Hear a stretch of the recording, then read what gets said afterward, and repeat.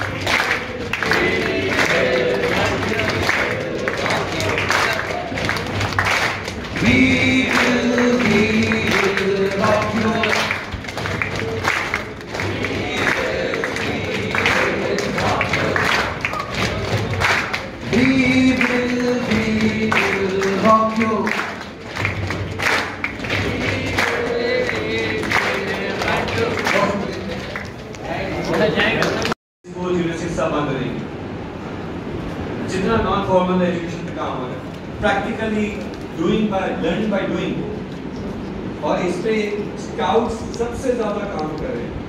यूएनआईटेड Nations के अंदर दो क्लास में अभी रिसेंटली जिसमें काकर साहब गए थे, उससे पहले शहबाज शरीफ गए थे, उससे पहले इमरान खान साहब गए थे।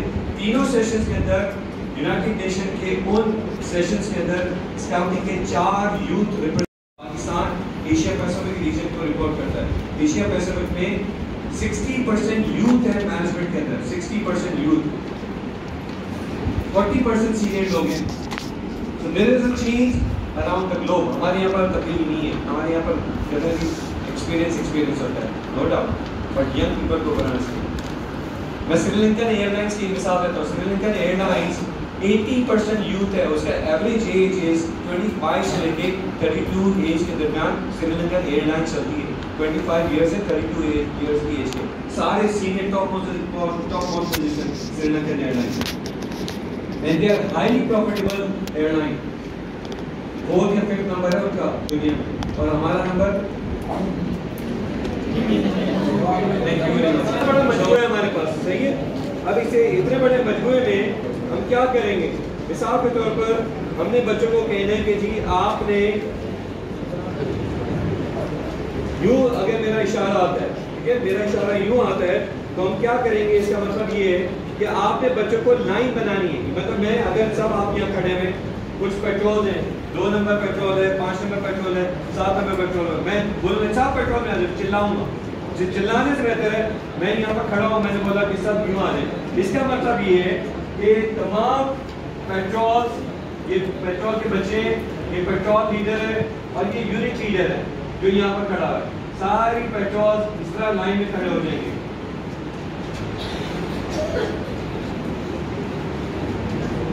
ये आगे वाला डब्बा उस पेट्रोल का लीडर है जो आगे खड़ा होगा। और ये यूनिट लीडर है जिसके आगे आप हैं। तो इसका इसका निशान का मतलब हाथ का इशारे का मतलब आप सब पेट्रोल में आ रहे हैं। सही है? अगर मुझे आपसे कहना है कि आप सर्कल बना लें सेमी सर्कल ठीक है? यहाँ से ही शुरू किया और सेमी सर्कल बनाया। इसका मतलब ये कि तमाम लोग अब यहाँ पर क्यों खड़े होंगे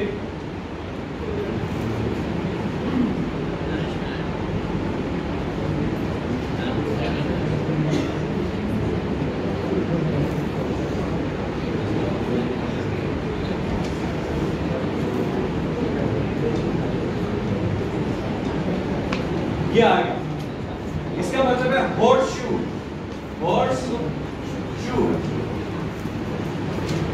घोड़े के पाँव में आपने देखा होगा रिंग होता है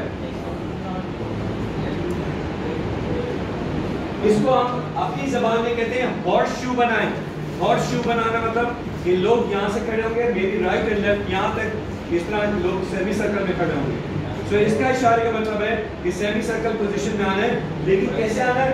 पेट्रोल लीडर सारे बच्चे। पेट्रोल लीडर सारे बच्चे। पेट्रोल लीडर सारे बच्चे। पेट्रोल लीडर सारे बच्चे। ये तरीके कार है खड़े होने का। ठीक है?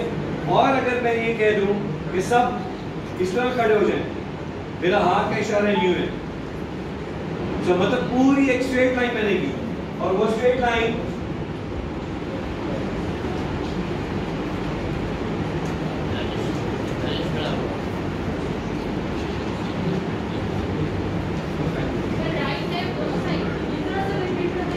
स्ट्रेट लाइन हाथ का इशारा स्ट्रेट लाइन और शू वाला यूँ यहाँ से इसमें लेफ़्ट से लेफ़्ट लेफ़्ट लेफ़्ट लेफ़्ट से सारे ठीक है? यहाँ पर आपने हॉर्स बनाना है आपने हाथ यहाँ लेकर आए और यूँ कर दे या आप यूँ लेकर आए यूँ कर दे।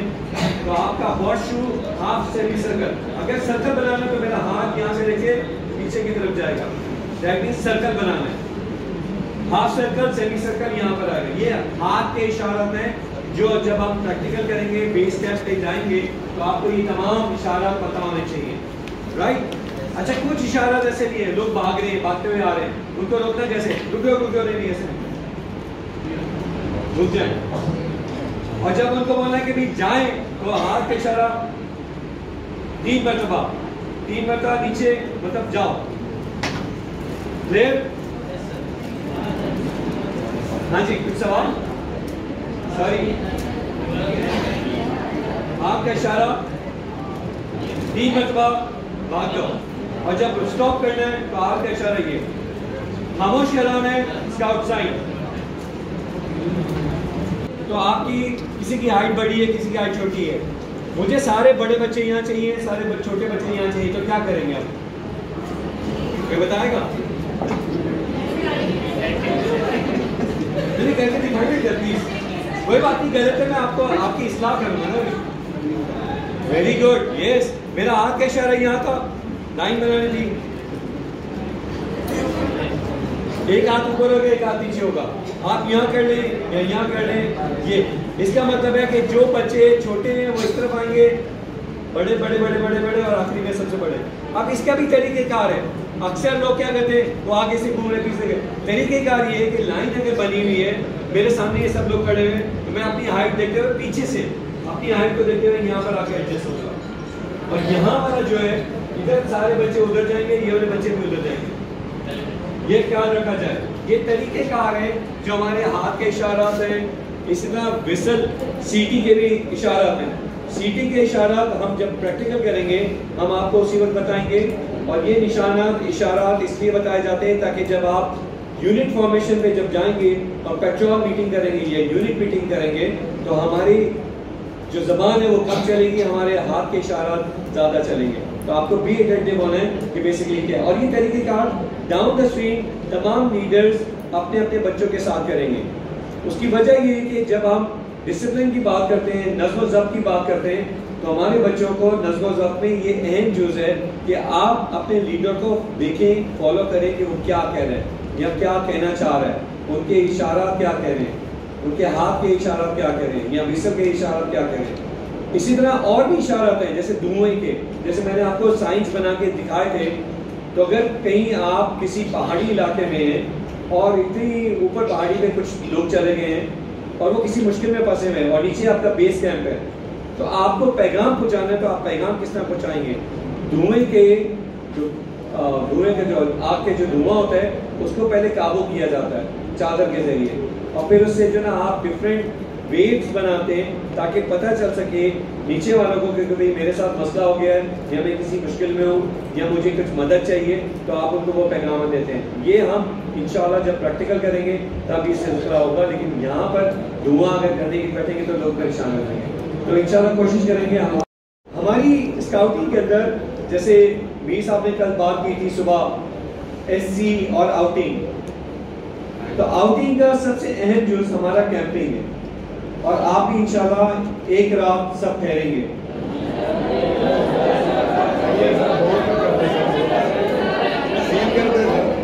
यदि वो फीमेल्स को कमरे मिलेंगे बॉयज़ को कैंप में ठहरेंगे सो एक तरीके का है कैंपिंग लेकिन कैंपिंग के अंदर हम बच्चों को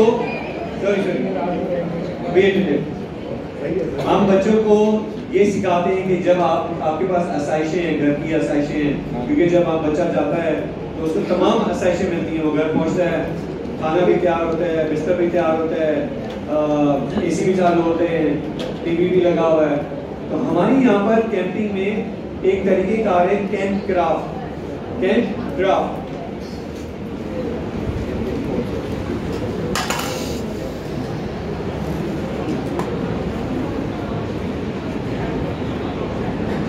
camp craft का मतलब ये कि आपको अपनी रोज़मर्रा आसाइशों को दूर रखते हुए आप अपनी ज़िंदगी कैंपिंग लाइफ में कैसे गुजार सकते हैं? और कैंपिंग एक अहम अहम यूज़ इसलिए कि ये कैंपिंग ही आपको सिखाती है कि आपने स्काउटिंग में करना क्या है। ठीक है ना?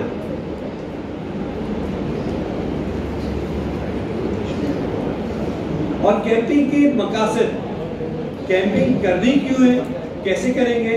लेकिन कैंपिंग का असल मकसद क्या है? हम कैंपिंग जो करते हैं नॉर्मली स्काउट के अंदर और आपने नाम सुना होगा कि कैंप लगा हुआ है।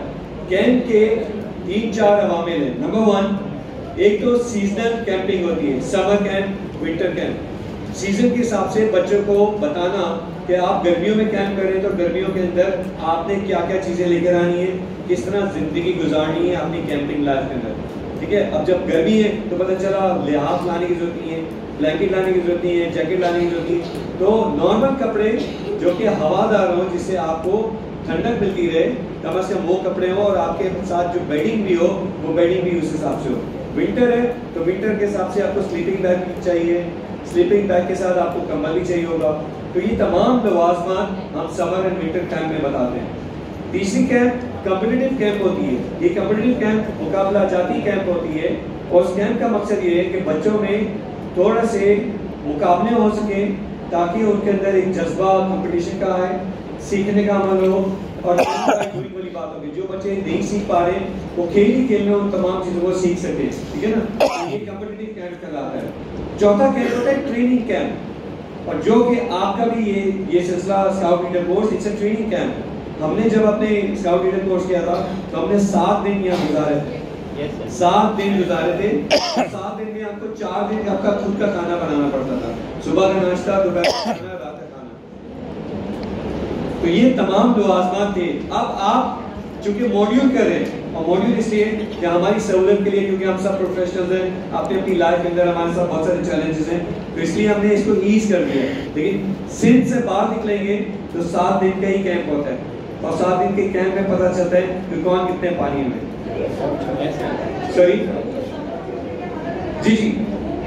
जी जी four categories number one summer camp number two winter camp number three competitive camp number four training camp और ट्रेनिंग कैंप का मकसद कि तमाम बच्चों को जो उनकी एज के हिसाब से, मिसाल के तौर पर अगर आप शाहीन स्काउट्स के बच्चे तो शाहीन स्काउट्स की कैंपिंग हम एक दिन पे रखते हैं। यानी कि हफ़्ते की शाम को आते हैं और इतवार की शाम को वापस चले जाते हैं। क्योंकि इनकी ज़्यादा टाइम की कैंप नहीं है। क्योंकि छोटे बच्चे हैं, उनको संभालना तकलीफ़ होता है। तो उनकी कैंप में हम खास चीज़ें, जैसे तीसरा सितारा जो उनका हाईएस्ट रैंक बैच है, उस हाईएस्ट रैंक बैच में ये रिक्वायरमेंट है कि तीसरे सितारे में बच्चों को अपनी कैंपिंग लाइफ गुजारने का अमल पता होना चाहिए। तो वो किस तरह आठ बच्चों के साथ उस कैंप में रहेगा, किस तरह अपनी कैंप की सजावट करेगा, किस तरह अपने कैंप को गैजेट्स बनाएँगे। अब गैजेट्स की बात आ गई, तीसरी चीज़ गैजेट किसी को पता है गैजेट्स क्या होते हैं? जो यूनिफॉर्म है, इसके अलावा।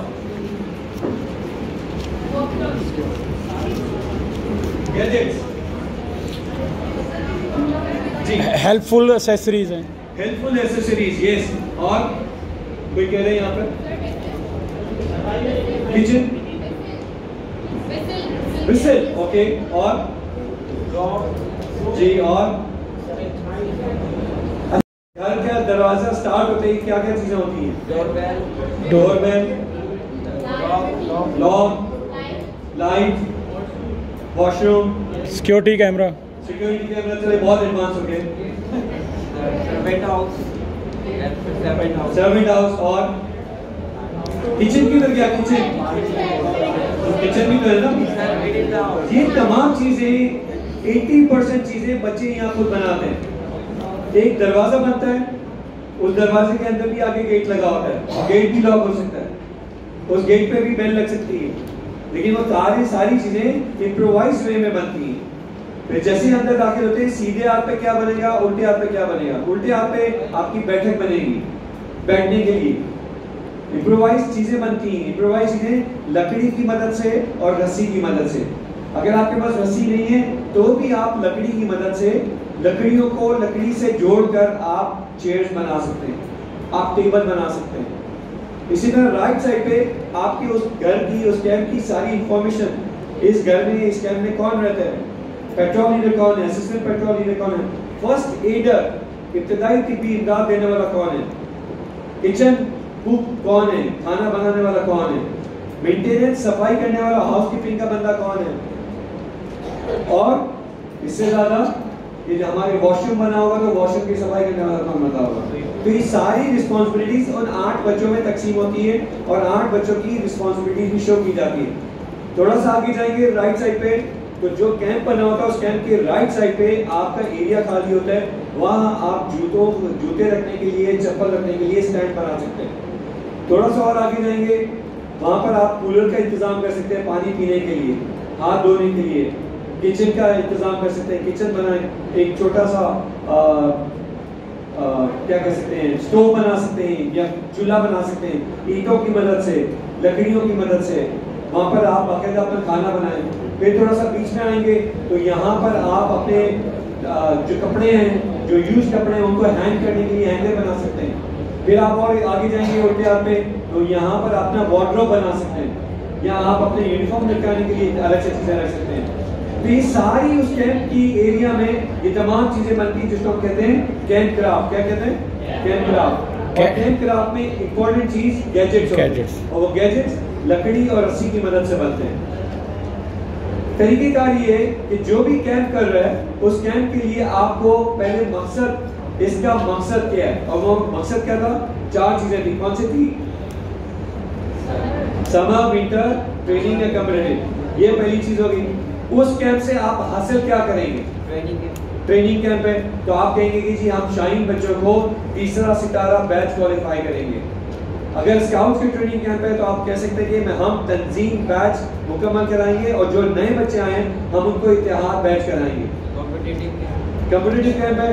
तो बच्चे जो यकीन बैच की तरफ़ आ चुके हैं जो कि दर्जाती बैच में तीसरा नंबर है तो हम यकीन बैच के बच्चों को कम्पिटिटिव कराएँगे पाइनरिंग का मॉडल मेकिंग का कुकिंग का एस्टिमेशन का मैप मेकिंग का। ये तमाम कंपटीशन से वो बच्चों को फ़ायदा होगा और वो आगे हमारे कायदेजम रैंक बैच जो हाईएस्ट रैंक बैच है कायदेजम उसके लिए क्वालिफाई कराएँगे।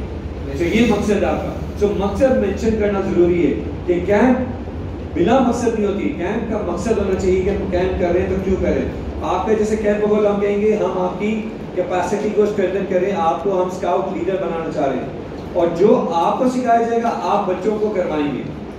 ये अमल होता है राइट इसी तरह जहाँ कैंप कर रहे उसकी इजाज़त नामा लेना। कि इस कैंप को हम इतने दिनों तक मोहित होगा, हमें इतने टेंट चाहिए, हमें किचन की सर्विसेज़ चाहिए, हमें वॉशरूम की सर्विस चाहिए, या हमें रिसोर्स सेंटर की ज़रूरत है जहाँ पे हम लेक्चर दे सकें। ये तमाम इजाज़त नामे में ये सारी तफसील लिखी जाएगी। और ये इजाज़त नामा किसके पास जाएगा? आपकी तरफ़ से आपके डिस्ट्रिक्ट सेक्रेटरी को जाएगा। डिस्ट्रिक्ट सेक्रेटरी प्रोविंशियल सेक्रेटरी को लिखेंगे। और प्रोविंशियल सेक्रेटरी की हिदायत इस जगह की केयर टेकर को होगा कि ये फला फला ग्रुप फला फला डिस्ट्रिक्ट के बच्चे आएँगे और आपने इनको एकोमोडेट करना है। और इनको ये ये सहूलियात देगी। ये तरीके का, जी। जाएँगे मतलब इसकी एक रिपोर्ट होती है जी जी मैं आ जी जी जी, बिल्कुल। ठीक है जी। और फिर इसी तरह जब हम आगे बढ़ेंगे तो कैंप की जगह का इंतखाब। अब मैंने तो आपको एक आसान तरीका, अब आपके पास ये सारी जगह मौजूद है। मिसाल के तौर पर अगर वो आप नहीं हमने तो यही करना तो आपकी सहूलत के लिए कि आपके बच्चे जहाँ मसले में ना हो प्रॉब्लम में ना हो, आपकी मैनेजमेंट में प्रॉब्लम ना हो तो आप कैंप की जगह का इंतखाब भी ज़रूर करें। और जगह का इंतखाब करने में ये चीज़ें जेर गौर हो कि एक तो कुदरती जगह हो, जहाँ दरख्त सायादार दरख्त भी हो मैदानी भी हो, और साथ में पानी की दस्तियाबी करीब में हो, वाफिर हो। और पानी दो तरीके का, एक वाइट वाटर जिसको हम पीने के लिए होता है ग्रे वाटर जिससे हमें फजदा वगैरह जा रहा है। तो दोनों का वहाँ पर कोई ना कोई फैसिलिटी मौजूद हो सिस्टम मौजूद हो, ठीक है? ये जगह का इंतखाब करने का तरीक़ेकार है। और फिर इसी तरह, हम जब आगे जाएँगे, उस जगह को जिस तरह हमें मिला था, वैसे ही वो जगह हमने छोड़कर जानी है। ऐसा ना हो कि लोग बोले, पता नहीं कैसे बेढंगे लोग आ गए थे। सत्यानाश कर दिया, हमारे पौधे खराब कर दिए, हमारे दरख्त काट दिए, लकड़ी जलाने के चक्करों में। हमारी जगह का सत्यानाश हो गया, यहाँ फजला पड़ा हुआ है यहाँ कचरा पड़ा हुआ है यहाँ ये पड़ा जगह का इंतखाब बहुत इंपॉर्टेंट है। कोशिश करें सायादार दरख्त ज़रूर हो। हमने अक्सर कैंपिंग देखी है लोगों की कि जो है वो बंजर बयाबा ज़मीन पे चार टेंट लगे हुए और बच्चे बेचारे निडाल हुए पड़े मैं आपको इंटरनेशनल जम्बूरी से एक्सपीरियंस देता हूँ। इंटरनेशनल जम्बूरीज होती है पचास पचास हज़ार बच्चा आता है पूरी दुनिया से। और वो जगह ऐसी होती है जहाँ पर कुछ नहीं होता है। उस जगह को डेवलप किया जाता है। वो नियर फ्यूचर प्लानिंग होती है कि अगले पाँच सालों में ये शहर बन जाएगा। और स्काउट्स पिछले दस सालों से जितने भी जम्बूरीज हुई हैं, जितनी जगहों पे काम हुआ है, वो वो जगह थी जो अनएक्सप्लोर जगह थी, जिनको लोगों ने देखा नहीं था या जिन्होंने उधर जाने की हिम्मत नहीं की। वो जगहों पे जाके स्काउट्स ने अपना काम किया, दरख्त उगाए, दरख्त तो उनकी मजीद अफजाइश की पानी का सिस्टम बनाया वॉशरूम का सिस्टम बनाया। ये तमाम चीज़ें करने के बाद आज वो जगह इस काबिल है कि वहाँ पर शहर आबाद हो सकता है। हमारे यहाँ पर तो बिल्डिंग के बिल्डिंग बिल्डिंग के बिल्डिंग बिल्डिंग के बिल्डिंग कॉर्नर प्लॉट पे दो दो टाउन हाउस होंगे। ये प्लानिंग होती है। मैं खुद थाईलैंड में जो एक जमहूरी हुई थी, चुनबरी मुकाम। चुनबरी is the highly peaceful tourist place है। और वो अनएक्सप्लोर्ड इसलिए था कि कुदरती चीज़ें थी वहाँ पर। कुदरती। कुदरती आइलैंड से, इतने बड़े बड़े आइलैंड्स हैं कि लोग हैरान हो गए थे कि हम लोग ये ये जगह पहुँची है जो लोगों ने देखी नहीं थी। और आज वहाँ पर तकरीबन डेढ़ लाख की आबादी है वहाँ पर। And it is the highly profitable revenue generating site है थाईलैंड के लिए। हमारे यहाँ पर तो पैसे मांग रहे हैं ना, वहाँ तो ये लोग रेवेन्यू जनरेट करते हैं। तो ये तरीके कार है। तो जगह का इंतज़ाम इसलिए कि जगह जहाँ मुंतखब करें, हो सकता है आपकी प्लानिंग में उस जगह डेवलपमेंट के लिए आपके काम आ सके। कि यहाँ स्कूल होना चाहिए, या डिस्पेंसरी होने चाहिए, या फलानी चीज़ होनी चाहिए तो आपकी ऑब्जर्वेशन वहाँ पर काम आएगी एज ए लीडर ताकि वहाँ की सहूलत हो भाई, आप कब आएँगे? आरिफ साहब आप कब आएँगे? आपका स्केड्यूल ये, आपने ये कराना है। क्योंकि ये स्केड्यूल के पीछे सारी चीज़ें अमल दखल होता है। इसी तरह आपका टाइम टेबल बनता है क्लासेस के अंदर। तो अगर क्लासेस का टाइम टेबल नहीं होगा तो आप भी बेतरतीब चलेंगे। तो इसी तरह कैंपिंग के अंदर हर मोमेंट तो सुबह स्टार्ट होगा फजर की नमाज़ से। क्योंकि हमारी पहली नशोनुमा रूहानी नशोनुमा है। हकूक अल्लाह जो वादे का पहला हिस्सा है जो हमारे सैल्यूट का पहला हिस्सा है। तो रूहानी नशोनुमा के बाद जिस्मानी नशोनुमा होगी और वो होगी ड्रिल एक्सरसाइज।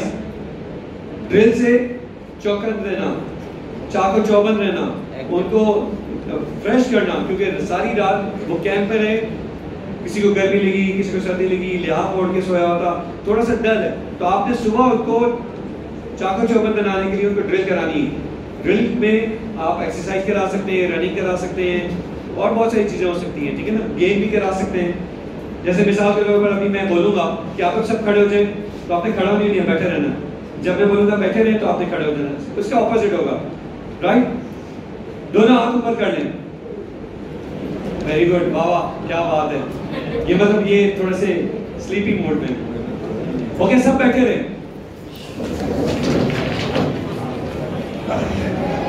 जो नहीं खड़ा होगा, पत्थर का हो जाएगा। ओके ओके सब खड़े रहे। बोलना नहीं है। कोई कोई कोई। ओके सब अपना एक हाथ ऊपर कर लें। वाह स्मार्ट पीपल दोनों हाथ ऊपर कर लिए। वेरी गुड जिन्होंने नहीं किया उन्होंने समझा नहीं हाँ। ओके सब अपना सीधा हाथ उल्टे हाथ की तरफ़ इशारा करें। सीधा तो उल्टे हाथ। ये उल्टा हाथ सीधे हाथ की तरफ़। सीधा हाथ उल्टे हाथ की तरफ़ इशारा करें सब। सीधा हाथ नहीं करना क्या करना है? उल्टे हाथ। वेरी गुड ये ऐसी चीज़ें किया? तय करने के बाद चादरें लपेटी की नहीं लपेटी, सराहनों को एक तरफ़ रखा कि नहीं रखा, उनको धूप लगाने के लिए बाहर आपने रखा या नहीं रखा? क्योंकि जब आप अंदर सो रहे थे तो छोटे छोटे अशरात आपके बिस्तरों के नीचे घूम रहे होंगे। अगर आपने उनको हटाया नहीं है तो आपको दूसरी रात को तंग करेंगे। तो बेहतर है कि अपना सारा बिस्तरा निकाल कर उनको झाड़ें, उनको तय लगाएँ आप बाहर की तरफ़ एक चादर बिछाएँ, उस चादर के ऊपर सारे तकिए एक तरफ़ रखें, चादरें एक तरफ़ रखें, कंबल एक तरफ़ रखें ताकि उनको धूप लग सके। जब धूप लगेगी तो तमाम अशरात उसमें से गायब हो जाएँगे और जो अंदर की तरफ़ जो है, वो भी अशरात गायब हो जाएँगे। तो ये तरीके तरीक़ेकार है? सुबह हेल्दी लाइफस्टाइल को मेंटेन करने के लिए। क्योंकि अक्सर बच्चे क्या करते हैं? जो कि होता है, ये एक्सपीरियंस मैं बता रहा हूँ, बच्चों ने रात के कपड़े उठाए, सराहने के पास रख दिए।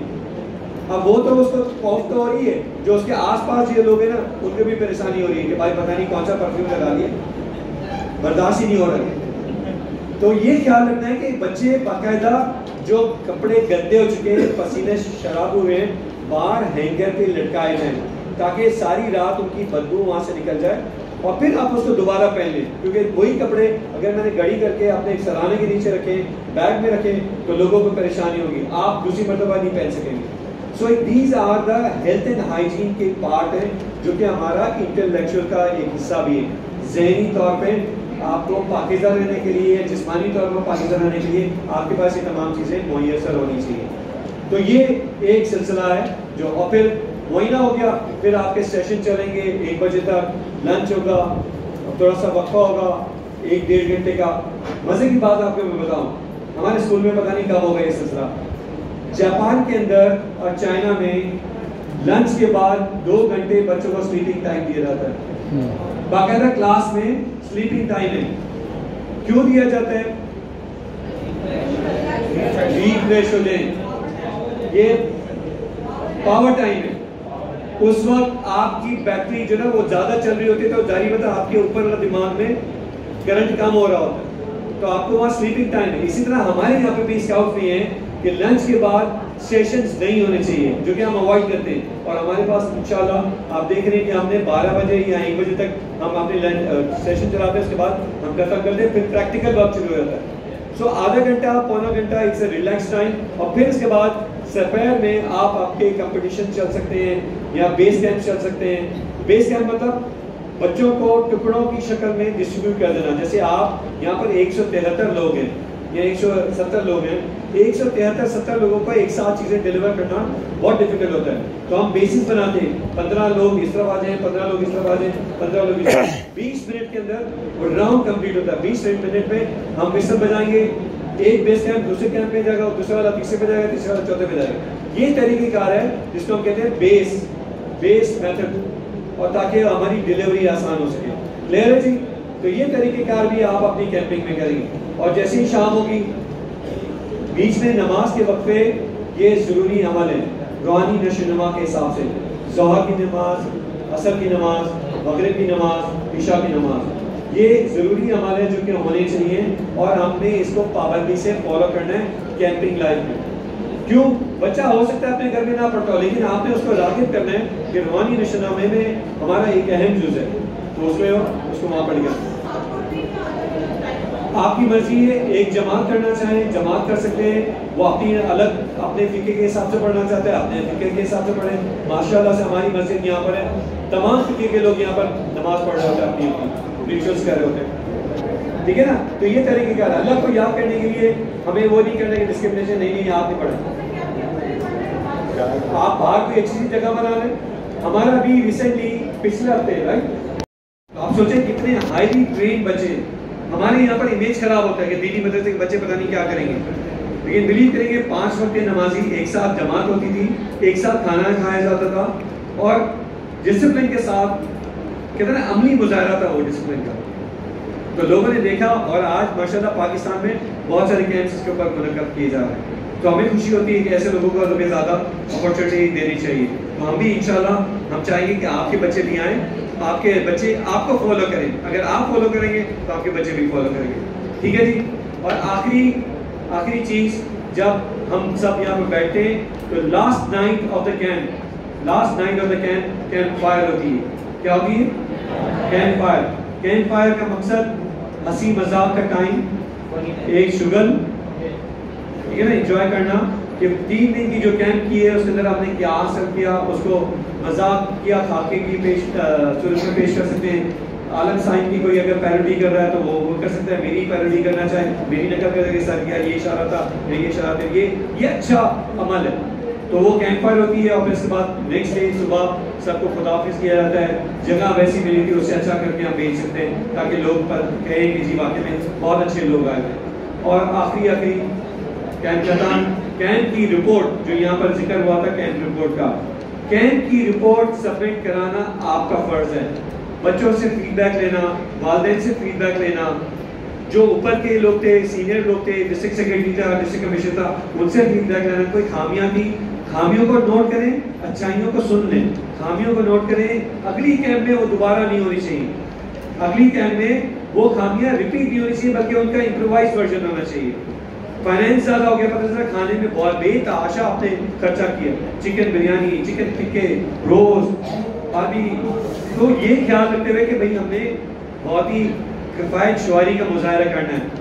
दें, एक मरतबा अच्छा दें, बाकी बच्चों के ऊपर बर्डन ना पड़े। बच्चों नहीं देना आपने देना अल्टीमेटली वो आपके पास डेफिसिट में जाएगा। तो बजटिंग का सारा अमल उसमें रिपोर्ट में पेश किया जाएगा कि कहाँ खर्चा हुआ, कहाँ ज़्यादा हुआ, कहाँ हम कंट्रोल कर सकते हैं, कहाँ हम चीज़ें काम कर सकते थे। तो ये तमाम चीज़ें किफ़ायत शुआरी के लॉ के अंदर आती हैं। तो ये रिपोर्ट आपको पेश करनी है। और अल्लाह के असला फिर आप नेक्स्ट अगले कैंप की तैयारी। तो कैंप क्राफ्ट में कैंपिंग से लेके कैंप गैजेट और कैंप गैजेट से लेके तमाम डिसिप्लिन के तमाम जाविये जिसमें आपके ट्रैकिंग साइंस हैं गैजेट्स हैं नजमो जब्त है ये चार डेवलपमेंट एरियाज़ स्पिरिचुअल आपके फ़िज़िकल इंटेलेक्चुअल एंड सोशल ये चारों चीज़ें उसके अवसर बनना चाहिए उसके अंदर। राइट जी? कोई सवाल कुछ पूछना हो? हाँ जी? रुकना? हाँ आप जैसे बोले बोले तो कल का एक रात है कल नाइट हम कैंप कर ले कितने लोग बोलते होनी चाहिए? कितने लोग बोलते कैंपिंग होनी चाहिए? चले कोई बात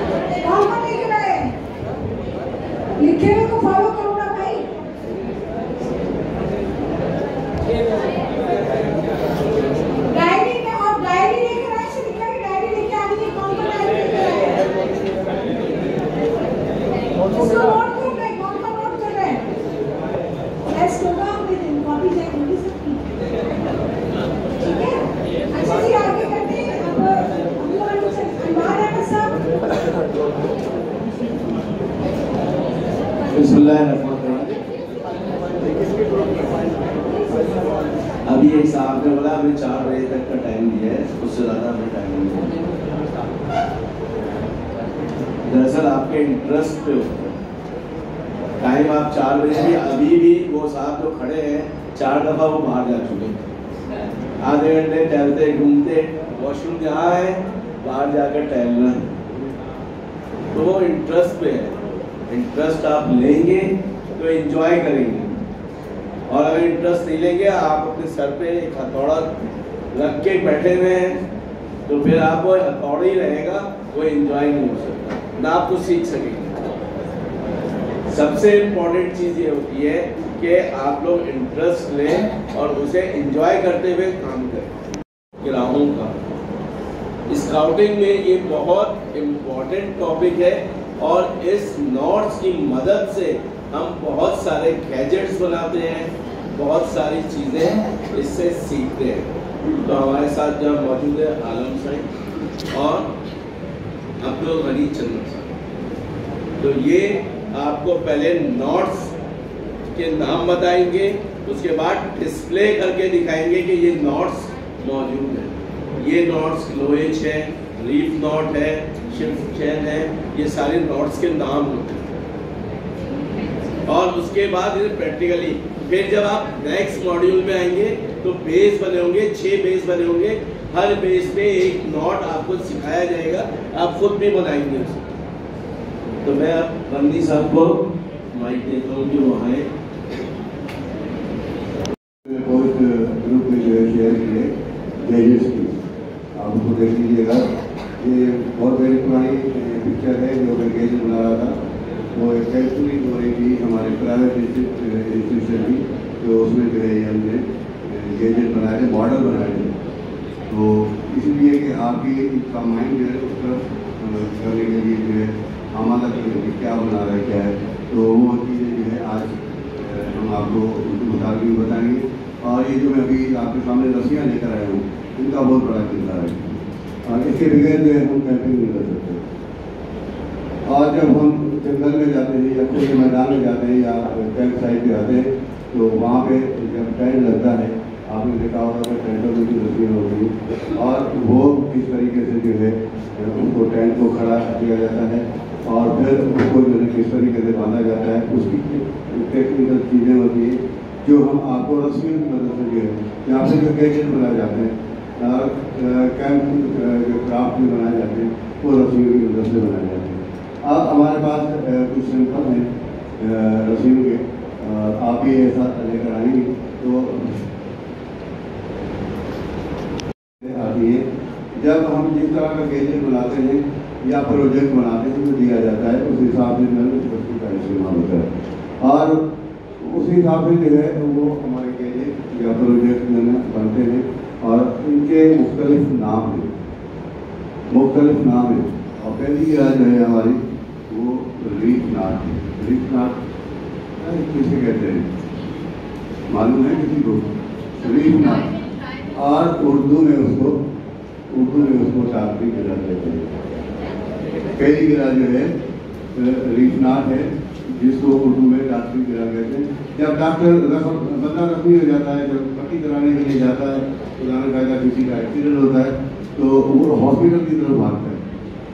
और जख्मी हो जाता है उसका ब्लड वो करने के लिए जब मरम पट्टी होती है, जब उसके ऊपर पट्टी बैंडेज करते हैं तो उसके ऊपर जो नाक लगती है उसको रीफ नाक कहते हैं उसको रीफ नाक कहते हैं वो रीफ नाक इस तरह की होती है बाकायदा ये प्रैक्टिकल कराया जाएगा? आपको के सिस्टम में फिर हम आपको नाम बता रहे हैं कि इनका काम क्या है। ठीक है? और वो भी प्लान ऐसी होती है कि अगर खुदा न करता किसी का धक्का लग जाए, धक्का लग जाए तो वो उसको तकलीफ़ नहीं होगी। उसके बाद अब इस रस्सी को हम अगर यहाँ पे कुछ ना करें तो ये रस्सी क्या होगा फिर? खुल जाएगी, बेकार हो जाएगी, बेमकसद हो जाएगी। यहाँ पे नॉट लगाने, गिरा लगाने, कौन सा गिरा लगाना? है कोई भी एक लगाए, उसको खड़े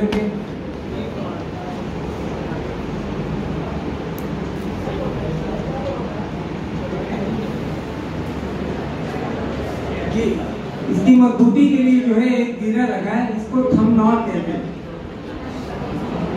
इसको जो है हम नॉट कहते हैं। ये हमारे सिलेबस में नहीं है। जो चीज़ें होंगे लिखने का, वो मैं आपको बताऊँगा कि ये चीज़ लिखना है। सही है? अब गिराओं का ताल्लुक हमारा जो है, कब से है, ये चीज़ हमें देखना है। कि देखिए, गिरा जब इंसान दुनिया में आता है तो आम तौर पे जो अभी तो क्लिप लगना शुरू हो गई नाप में पहले जो है पुराने जमाने के लोग या गाँव देहात के जो लोग हैं, वो यहाँ पे एक थम नॉट लगाते यही बालक, यही गिरा जो है, दुनिया में आते ही लग जाते हैं। उसके बाद बच्चा बड़ा होता है, जार पर बांधना शुरू कर देते हैं, जूते बांधना शुरू कर देते हैं ये शादी ब्याह हो जाते रस्सियाँ बांधना शुरू कर देते। हैं यानी एक सिलसिला चल पड़ते हैं गिराओ के फिर आखिर में जब दुनिया से जा रहे होते हैं उस वक्त भी जो है गिरा रखते हैं। कफन में गिरा रखते हैं। जो दुनिया भर के जितने भी रेस्क्यू टीम है फ़र्स्ट एडर है, ये सारे जो है, ये छह गिराए जो है, इसको यूज़ करते हैं। इसके नाम जो है आपको यहाँ पे बोर्ड में लिखे हुए नज़र आएँगे उसके तफसील में बताता रहूँगा। फिर बाद में जो है वो गिरा भी बना के दिखाएँगे आपको। रिफ नॉट इसको आम ज़ुबान में हम जो है डॉक्टरी गिरा कहते हैं। डॉक्टरी गिरा इसलिए कहते हैं क्योंकि बैंडेज के आखिर में जो है रिफ नॉट लगाते हैं। ये आरामदायक गिरा होता है और अच्छे स्काउटिंग के जितने भी गिराए हैं, इसको आप बेचेंगे तो ये मज़बूत होते चले जाएँगे। और इसको खोलना है, आपको काटने की ज़रूरत पेश नहीं आएगी उसको जरा सा हल्का लूज करने की कोशिश करेंगे। ये खुद ही खुलना शुरू हो जाएँगे। ये इसमें जो है, ये रिफ नॉट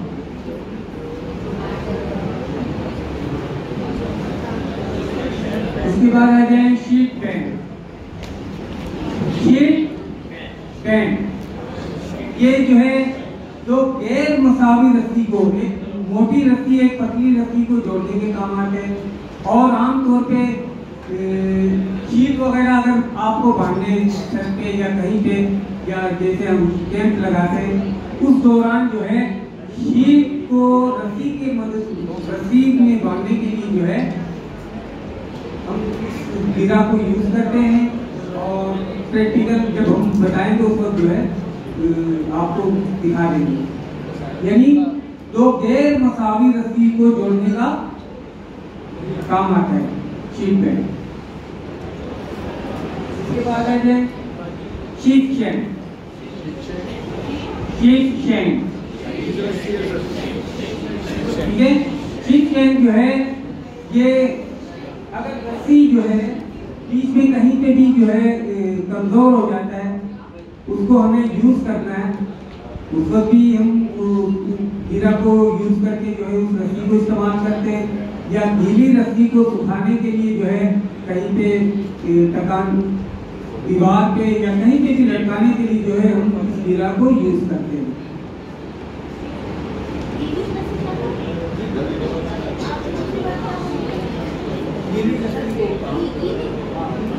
गीले हो गए, पानी में गिर गए या समंदर पे जो है आपने यूज़ किया।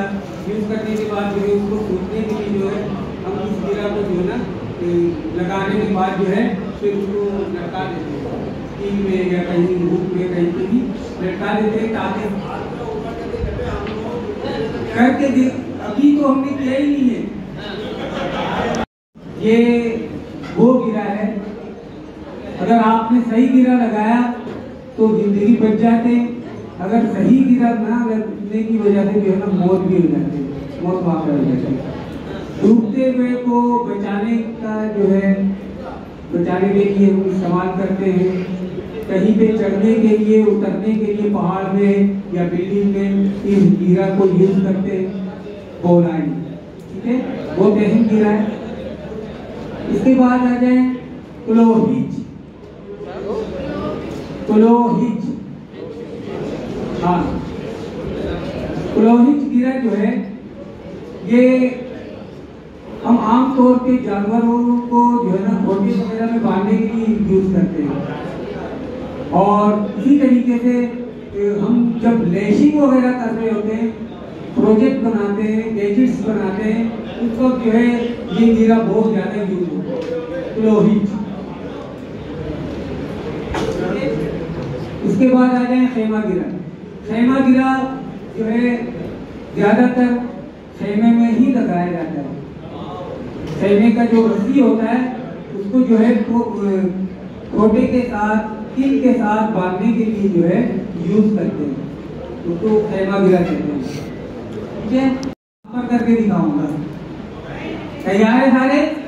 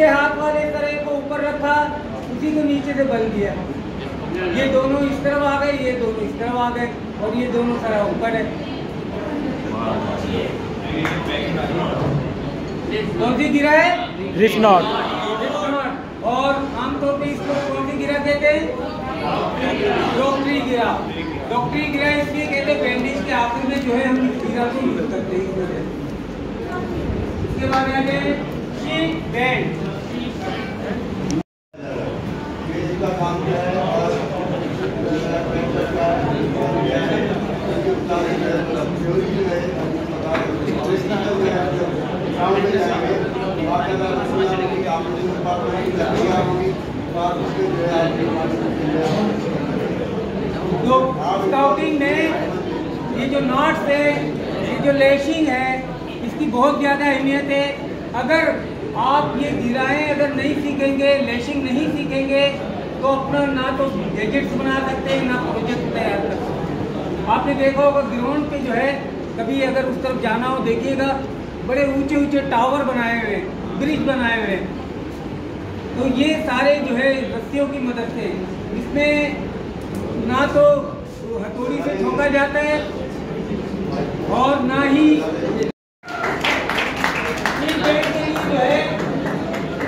ये समझ लें कि ये मोटी रस्सी है, ये पतली रस्सी है। मोटी वाली रस्सी को बेंड करते हैं। इसको डबल करके मोटा कर दें। नहीं सही है। अब पट्टी वाली रस्सी को जो है इस में डाल के दोनों के नीचे से लाया और हाँ वो लाइनिंग ये या तो आप ये जहन में रखें कि ये जो है शीट है यानी कपड़ा है चादर है या फिर मोटी रस्सी है। इसको हमने बैंड किया। बैंड करने के बाद पतली वाली रस्सी को जो है, हमने दोनों सरे के नीचे से लाया, अब इसी में वापस अंदर, ये। ये शेप बनेगी।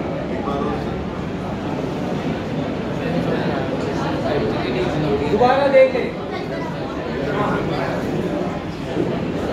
पेंट किया और नीचे से ले या ऊपर से ले दोनों तरह से नीचे से लाना है फिर उसी रस्सी में ला अंदर करना है। ये।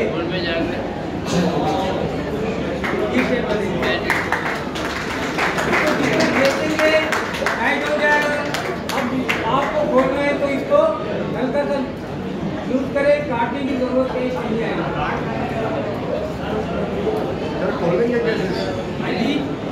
लूज।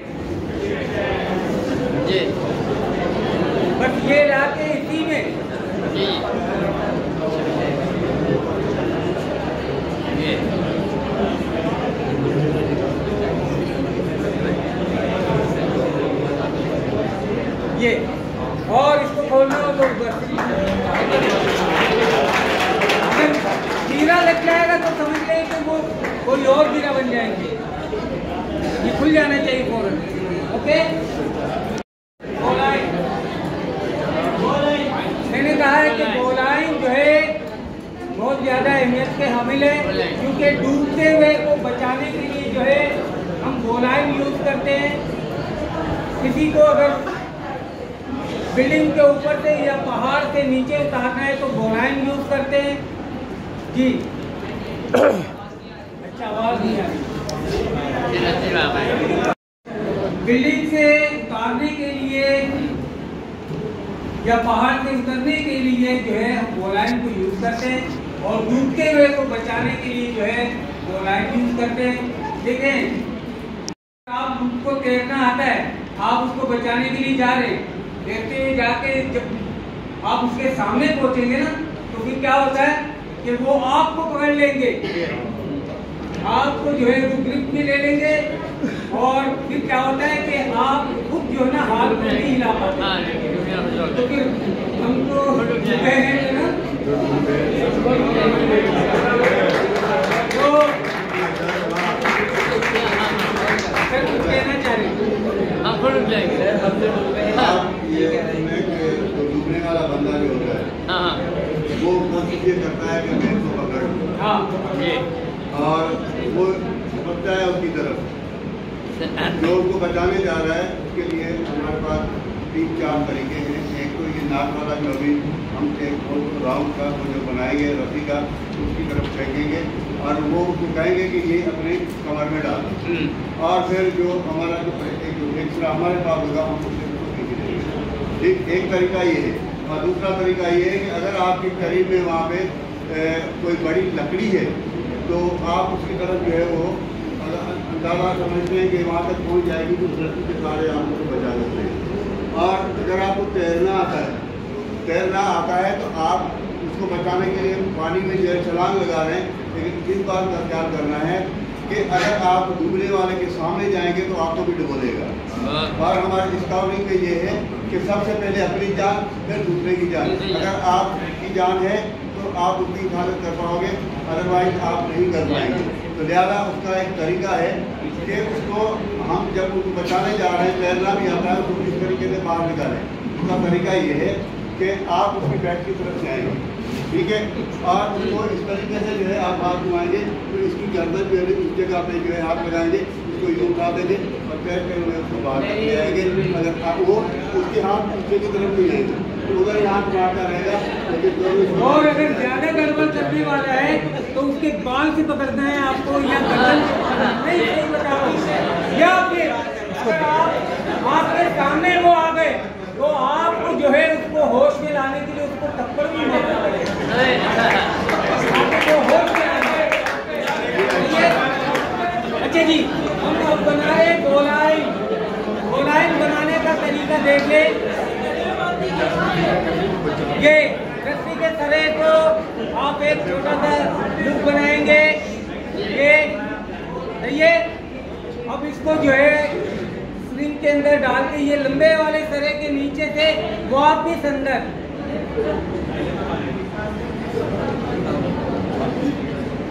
नहीं, ये आगे।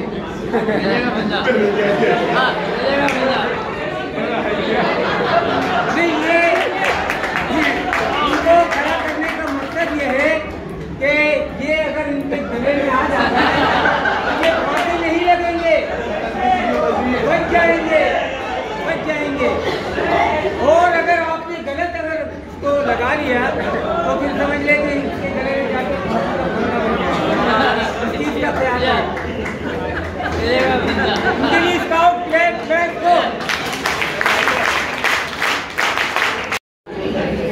कहाँ यूज़ करते हैं? हाइट पे चढ़ने के लिए या बचाने के लिए? को बचाने के लिए पहाड़ से उतरने के लिए बिल्डिंग से उतरने के लिए जो हैं। ये रिंग बना के जो है आप इसके नीचे से ले अगर ये रस्सी लंबे वाले सरा जो है नीचे की तरफ़ है तो आप नीचे से ही लेकर आएँगे। अगर ये सरा जो है ऊपर है तो ऊपर से लेके जाएँगे। ये दोबारा दोबारा। ये मैं बार बार कह रहा हूँ कि ये आपको बाकायदा जो सिखाया जाएगा अलग अलग ग्रुप बना के। ठीक है? मैं दोनों साइड आके ये लुक बना है? ये आने के बाद जो नीचे से आया और लंबे वाले सरे के नीचे से आके वापस उसी के साथ मिल जाएँगे। ये। ये गिरा फिलप नहीं हो रही है तो सही है। हो रही है तो गलत है पुरोहित जो है जो रस्सी जानवर के गले में या पाँव में जो बंधे हुए होते हैं, उसको हम छोटे में या किसी कोल में बांधने के लिए जो गिरा यूज़ करते हैं, हर कोई बनाता है। लेकिन उसका नाम जो है याद नहीं है, नाम नहीं मालूम। इस वजह से जो है, इस गिरा को जो है थोड़ा सा मुश्किल समझ रहे हैं। ये देखें, ये एक लोग इस तरह बाहर के साइड, एक अंदर के साइड, इन दोनों को ज्वाइंट करना है। और कोल में स्किल में जो है पकड़ के ये टाइट करना है। टाइट हो जाएँगे। यही है क्लोई। ये कुर्बानी के वक्त करते ज़्यादातर जो है हम जानवरों को बांधने के लिए और स्काउटिंग में जो है जब हम गैजेट्स बनाते हैं प्रोजेक्ट तैयार करते हैं उस वक्त जो है ये गिरा ज़्यादा यूज़ होता है। पुरोहित तो ये तमाम सबको बनाना आएगा। जैसे हमारे झंडे वाला फूल है उसमें हमें यही गिरा लगाना है। अब हम गिरा बनाने के बाद पोल के ऊपर चढ़ के तो नहीं करेंगे ना? कि वहाँ से अंदर, नीचे तक लेकर आए। अब ये है जगह। यहाँ पे जो है, हमें पुरोहित लगाना है। ये साहब बेफिक्र रहें ये हम प्रैक्टिकल जब होगा, उसमें जो है, बाकायदा करवाएँगे। अभी हमारे पास यही मौजूद है। तो इसको जो है तरीके से करेंगे। ये आ गए एक चक्कर अब इसके नीचे से आके इसी के अंदर। ताकि उनको नज़र आ जाएगी ये समझ रहे पोल है। अब मुझे यहाँ बांधना है। सही है? ये रस्सी देखे ये आ गए। यहाँ से आके ये।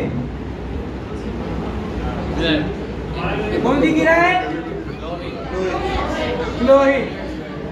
आ गए समझ में?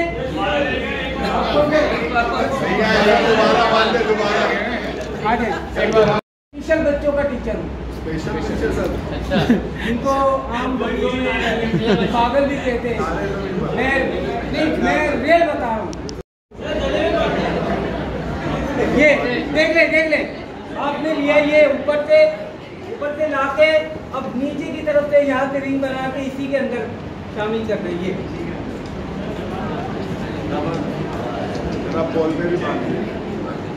ठीक है? कौन सी गिरा है? कितने गिरा हो गए? एक गिरा। जो कि खेमे पे जो है, हमारे जो गिरा होता है। जैसे मिसाल के तौर पर, ये खेमे में जो है, ये खेमे में ये गिरा है और इसको जो है घोटे में बांधना है। ये घोटे में बांधना है। ये देखिए एक चक्कर और हाफ़ चक्कर। इसके बाद यूँ, ऐसे लुक बना के इसको जाम करना है। ये गिरा जो है खेमे में लगते हैं। दोबारा देखें।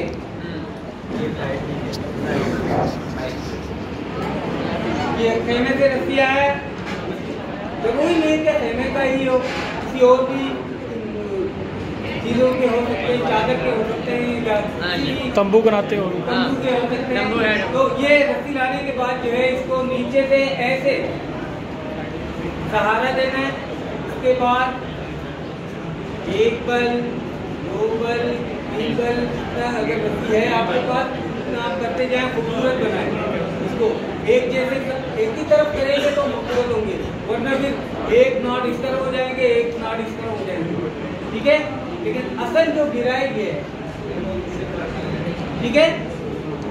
कितने गिरा हो गए? तो हमने अभी गिराओं के साथ जो है लेशिंग का ज़िक्र किया है। और लेशिंग में जो है ज़्यादातर जो हीरा यूज़ होता है, वो कौन सा है? नहीं अभी बताया नहीं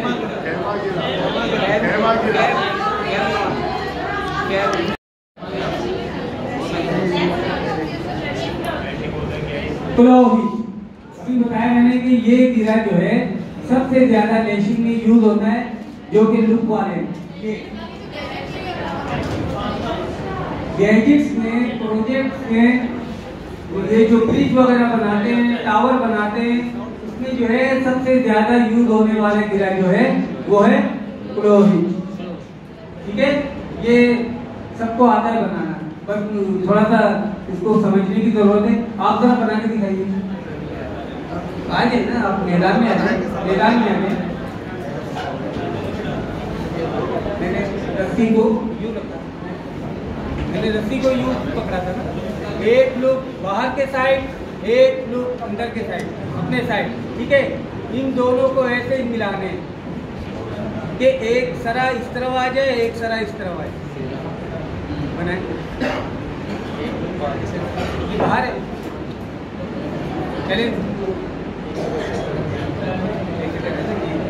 रस्सी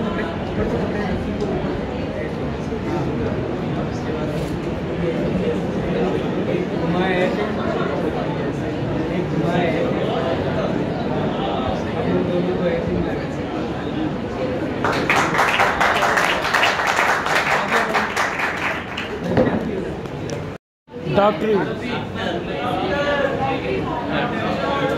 अच्छा ये आम तौर पे मैं अपनी बात बता रहा हूँ कि जितने भी सामान वगैरह, पैकिंग वगैरह हम करते हैं ना, शॉपर में मैं यही गिरा यूज़ करता हूँ। और मेरे पास ऐसे ऐसे शॉपर हैं जो दो साल हो गए, तीन साल हो गए, उसको यूज़ कर रहा हूँ। मज़बूत है अब उसको जैसे ही मैं हल्का सा यूज़ करता हूँ, हिलाता हूँ तो फिर वो फ़ौरन खुल जाते हैं। वरना क्या होता है कि अगर आम गिरा हम लगा देते हैं तो उस शॉपर को ही फाड़ना पड़ता है। उसी शॉपर को नहीं यूज़ करता ये पैकिंग वगैरह में भी जो है, इस गिरा को यूज़ ठीक है?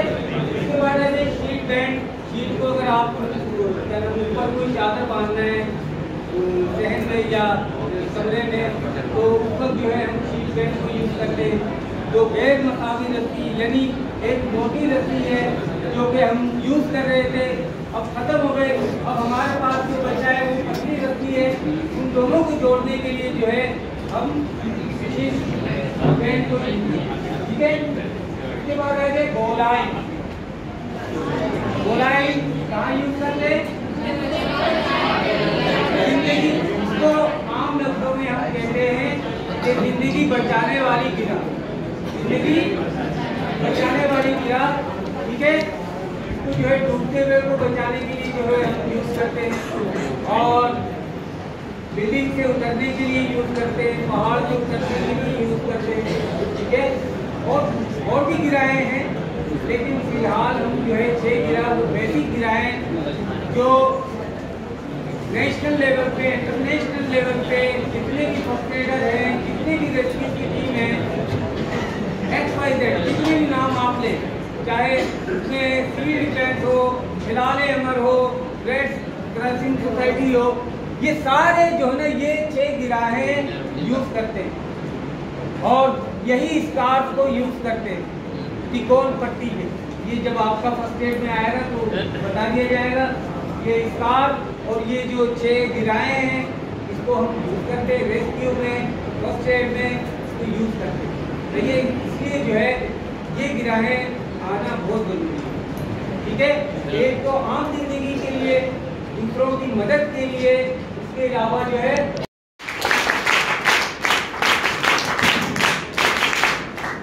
कोई सवाल